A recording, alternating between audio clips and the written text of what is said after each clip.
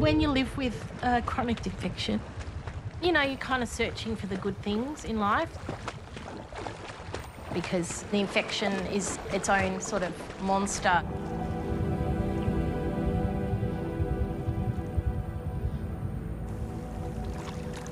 I don't have a lot of pain in the water.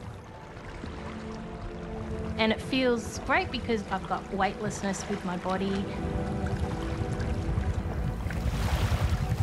One day I hope to have the same sort of feeling on land as I do in the water.